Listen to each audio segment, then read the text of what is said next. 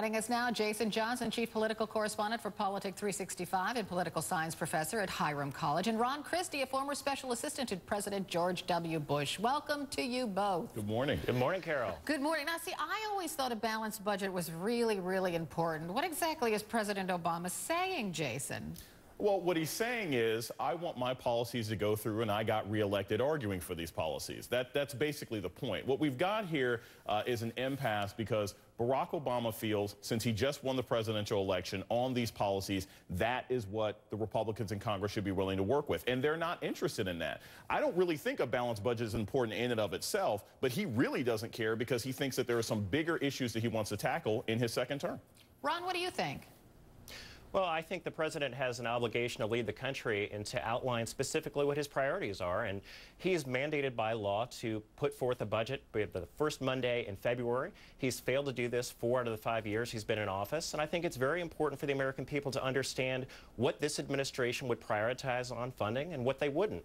And I listened to the way that the president demonized the Republicans and said, oh, they want to balance the budget on the backs of the poor and the elderly.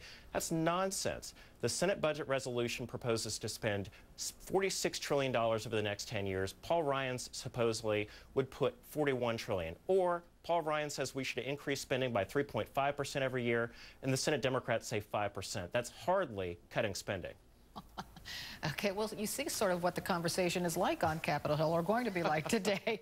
on to topic two, lawmakers in Mississippi are saying, Nanny Bloomberg, do not mess with us. Mississippi has passed a bill to prevent any ban on large sodas dubbed the anti-Bloomberg bill. This after a New York judge struck down the mayor's soda ban. Mayor Bloomberg's soda ban, that is. Perhaps understandable, except Mississippi is the fattest state in the nation with a 35% obesity rate. So the question, is Mississippi's anti-Bloomberg bill a good idea, Ron?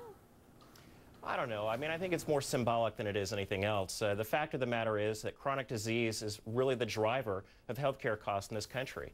If you look at the money that we're spending at the federal government, you're looking about 75 cents out of every healthcare dollar is going to chronic disease. So I understand their uh, really disdain with what uh, Mayor Bloomberg was trying to do, but at the same time, passing a symbolic statute, I, I think is somewhat meaningless. Well, you know, I'm just looking at our viewer comments, Jason. Uh, this is from Donald. He said, I thought America was a free nation. Who does Bloomberg or the government think they are to try to tell us what we can or cannot do? And, and I hear that, but I also know, as Ron said, we have an obesity problem in this country. People are addicted to fattening foods. So what as a nation do you do? Because we all share in the health care costs. Well, look, Bloomberg's plan went too far, but he has the right idea. And the idea is to say, look, if we all end up having to pay for these costs, we got to make sure that this goes down very simply. And, and, I think it had a negative economic impact, but I think his idea was good. What Mississippi is doing, I think, is a waste of time. I'm sure there's a lot more important issues down there like education and health care that they should be handling.